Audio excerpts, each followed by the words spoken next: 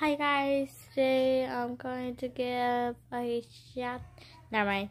Um, today right now it's midnight. If it's not midnight at your house, come down below and let you guys know. Um,